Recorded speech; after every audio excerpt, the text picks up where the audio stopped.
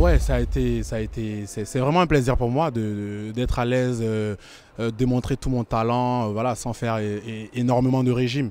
Donc voilà, à, cause du Covid, on a dû attendre encore une année, faire encore perdre voilà, des kilos et malheureusement ça n'a pas marché pour les JO. Mais comme nous sommes des athlètes, voilà, on, continue de travailler. Aujourd'hui, je suis plus à l'aise dans cette nouvelle catégorie. Je peux démontrer mon talent, tout ce que j'ai dans les tripes. Et voilà, je pense que j'ai essayé de faire le nécessaire, mais c'est pas terminé. Voilà, il y a Paris 2024 et on reste concentré, on rentre, on se soigne et voilà, on, fait on, prend plaisir de, notre sport. Ouais. Euh, voilà, je suis plus à l'aise. Ressenti, je suis très, très, je suis très à l'aise. Euh, euh, c'est vrai, les premiers combats sont toujours un peu compliqués, mais voilà, dès qu'on rentre dans le bain, et j'adore le show, donc je peux démontrer tout ce que voilà, tout ce que j'ai dans les tripes, comme j'ai dit, et ça fait plaisir. Ouais bien sûr, c'est très compliqué parce que là, je me suis fait cette blessure parce que le gars, sûrement, il pesait plus de, plus de 10 kilos que moi. Et voilà, en demi-finale, je croise un gars qui fait quelqu'un qui fait 2 mètres de 100 et quelques kilos. Il faut, faut, faut l'arrêter avec des queues, tout ça. Et c'est compliqué. Mais comme on le dit, euh, quand on fait ce qu'on aime, voilà, on fait avec le cœur. Et je pense que vous avez constaté.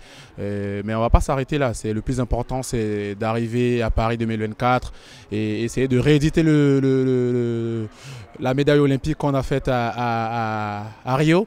Et voilà, pas à pas avec les entraînements, avec les conseils, avec euh, toute la famille, je pense qu'on va arriver.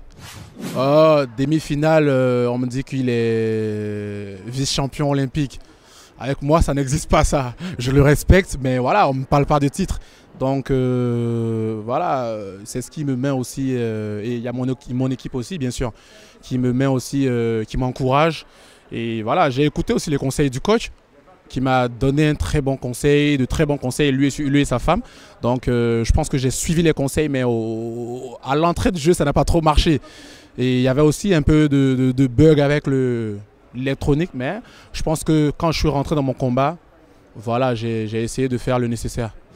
La, finale, euh, voilà, comme j'ai dit, je, suis, combat avec des gens qui sont super lourds, plus de 10 kilos que moi.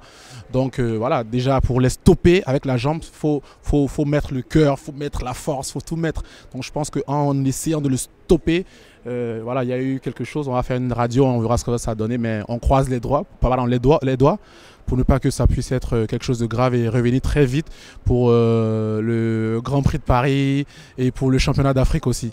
Je suis quand même. Euh, euh, la règle à 100% n'est pas totale. Bien peut-être des choses à changer, mais voilà, je pense que c'est mon genre de combat parce que moi, j'aime la bagarre, j'aime chose et bon, si je veux me consacrer, si je veux me, me, me, me limiter à cette compétition, je pense que ça me va. Mais on verra ce que ça va donner avec les autres compétitions. Mais voilà, euh, je pense que c'est bien, mais il y a quand même des choses à changer. Voilà. Exactement, exactement, exactement. Parce que voilà, j'ai eu des combats, les quarts de finale où je gagne 10, 13, 3. et je reviens au deuxième round, je dois encore me concentrer alors que j'ai gagné, gagné 13-3. Donc c'est un peu stressant, tous les rounds sont. faut devoir prendre tous les rounds euh, au sérieux. Il faut se dire que voilà, faut forcément gagner les deux rounds pour être bien. Et voilà, c'est beaucoup de stress. Mais comme on dit, on est, on est des athlètes et voilà, on est habitué à cela et voilà, on essaie de s'adapter.